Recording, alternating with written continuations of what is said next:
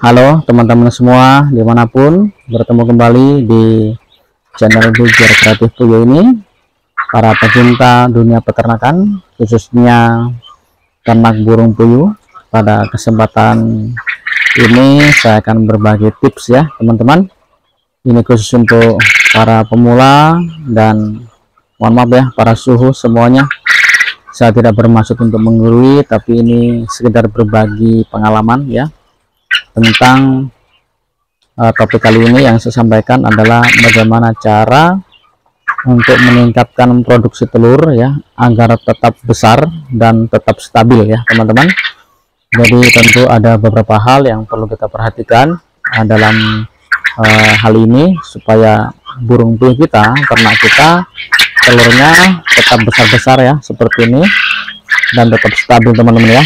Nah ini, ini telurnya uh, cukup bagus ya besar-besar dan tetap stabil teman-teman ya. Nah ini telurnya. Nah ini. Oke teman-teman sebelum kita lanjut videonya yang baru saja mampir atau menemukan channel ini jangan lupa untuk tonton videonya sampai habis. Jangan skip skip ya teman-teman supaya teman-teman mendapatkan informasi yang lengkap yang cukup. Dan yang sudah subscribe saya ucapkan terima kasih. Oke tidak basa-basi kita akan langsung saja ke videonya jadi begini teman-teman ya. Untuk ini pengalaman saya ini ternak burung biasa ini uh, eh, 1300 lebih ya sekarang ini karena populasinya terus bertambah. Dan saya juga masih untuk pembuatan pembibitan lagi ya. Jadi tentu teman-teman kita mengharapkan ya burung yang kita pelihara itu telurnya ya bagus ya berkualitas bagus besar-besar dan juga tetap stabil ya setiap harinya teman-teman. Dan ini berdasarkan uji coba yang saya lakukan ya jadi ternyata eh, pertama yaitu dipengaruhi oleh ya faktor nutrisi pakan ya. Jadi yang pertama yang perlu kita perhatikan teman-teman ya supaya burung puyuh kita yang, yang kita pelihara ini telurnya tetap besar-besar dan tetap stabil ya seperti ini teman-teman ya. Nah ini saya akan tunjukkan dulu. Maka yang pertama itu tentu kita harus memperhatikan yaitu nutrisi pakan ya. Memang itu kebutuhan utama yaitu nutrisi pakannya ya. Jadi pakannya teman-teman kalau mau burung puyuh kita telurnya besar-besar ya tetap stabil ya seperti ini teman-teman maka kita harus memperhatikan yaitu nutrisi pakannya ya. Jadi nutrisi pakannya itu harus cukup ya. Dan untuk teman-teman yang biasa untuk uh, mencampur ya atau pakai pakan campuran jadi kalau seandainya teman-teman tidak terlalu uh, memahami ya tentang cara mencampur pakan sebaiknya harus dipertimbangkan teman-teman ya. Harus dipertimbangkan. Bukan berarti tidak boleh. Silakan saja teman-teman mau mencampur pakannya. Tetapi yang jelas kalau burung puyuh yang kita pelihara ini ya nutrisinya atau pakannya asupan gizinya ya ransumnya itu tidak seimbang atau berubah-ubah itu sangat mempengaruhi produksi telurnya teman-teman ya. Jadi ini nutrisi pakannya harus tetap stabil teman-teman ya. Ini harus kita perhatikan ya. Jadi burung puyuh juga bisa mengalami stres ya. Kalau pakannya itu berubah-ubah ya atau yang kita campur pakan campurnya itu tidak uh, tidak sesuai kebutuhan gizinya ya. Itu juga akan berpengaruh kepada produksi telurnya teman-teman ya. Nah itu yang pertama teman-teman ya jadi dipengaruhi oleh nutrisi pakan ya. Kalau teman-teman sekiranya tidak memahami ya tentang bagaimana cara mencampur pakannya ya uh, tidak terlalu paham ya jadi informasinya belum begitu paham maka sebaiknya jangan dilakukan teman-teman ya. Karena itu akan berpengaruh pada produksi telurnya. Dan yang kedua teman-teman ini air minumnya ya. Jadi saya pakai air minum seperti ini teman-teman ya. Bukan pakai nipple nipplenya ada belum saya pasang ya. Tapi saya coba pakai ini dulu teman-teman ya. Kalau untuk ukuran 1000 lebih masih mampu ya teman-teman kita untuk uh, mengganti. Memang ini kelemahannya ya repotnya kita harus uh, mengganti satu hari mungkin bisa tiga kali ya. Ini biasanya saya tiga kali teman-teman satu hari ya. Satu hari tiga kali untuk kalau untuk 1000 lebih 1500 masih bisa teman-teman ya. Tapi kalau sudah sampai 5000 ya ke atas tentu kita akan kualan ya atau sangat merepotkan nah yang di kalah penting teman-teman. Ya tempat air minumnya ini harus bersih setiap waktu. Ini saya bersihkan terus teman jadi sangat mudah ya. Ini ke kelebihannya mudah untuk membersihkannya. Dia nggak kalah penting teman-teman. Jadi di air minum ini ya karena kebutuhan air minum setiap ekor burung puyuh itu kurang lebih 60 mil ya. Berarti kalau 1000 ekor itu berarti satu hari kurang lebih 60 liter teman-teman ya. 60 liter untuk kebutuhan air minumnya per harinya. Nah saya untuk uh, mencampur ya pada minuman ini saya tambahkan yaitu ada E4 ya untuk peternakan. Kemudian saya juga tambahkan sedikit gula merah teman-teman ya.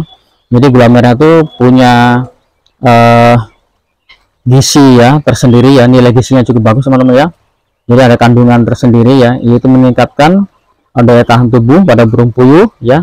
Meningkatkan sistem ya pencernaan pada burung puyuh ya tetapi kalau tidak bisa mencampurnya ya komposisinya tidak pas juga tidak uh, tidak terlalu berpengaruh atau terlalu sedikit kalau terlalu banyak juga bisa berpengaruh ke hal yang tidak bagus teman-teman ya bisa mempengaruhi sistem pencernaannya ya mungkin bisa mencet teman-teman ya burung puyuh kita yang kita pelihara Nah, oleh karena itu uh, kita perlu mencampurnya ya. Saya saya tunjukkan teman-teman ya.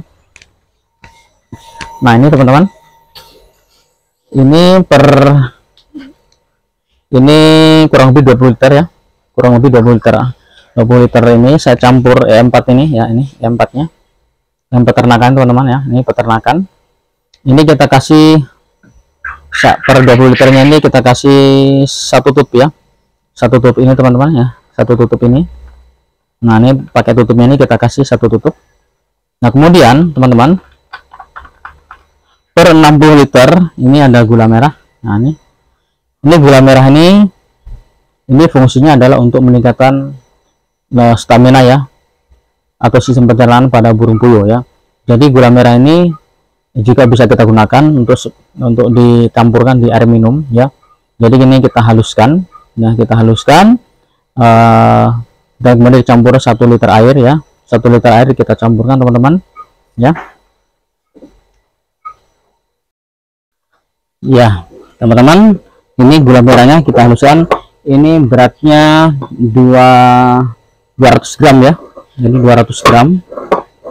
Jadi seperti ini teman-teman. 200 gram kita haluskan dulu.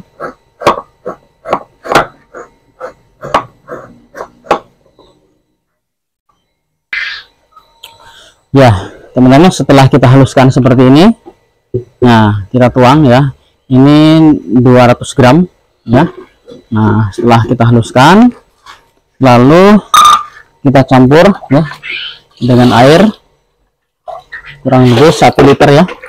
Satu liter air teman-teman. Nah ini satu liter air. Nah seperti ini. Nah kita larutkan.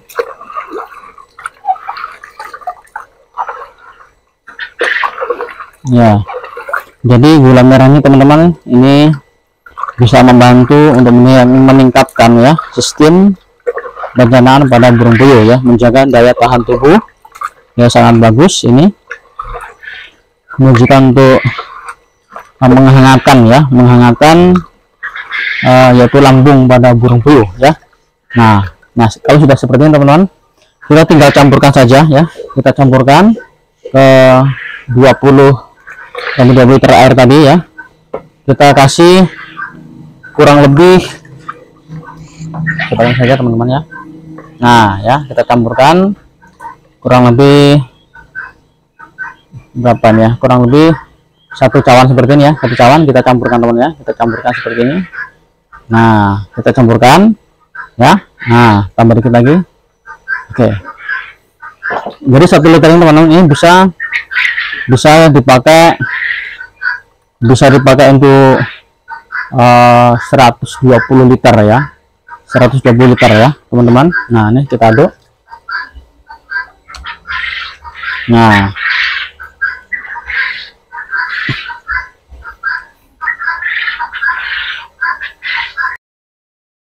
Ya teman-teman kalau sudah seperti ini ya ini ini tadi kita kasih ya sekitar satu tutup ya nah baru kita aplikasikan. Nah kita berikan ke burung puyuh kita teman-teman ya.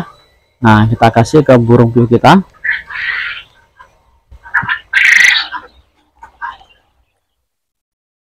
Ya.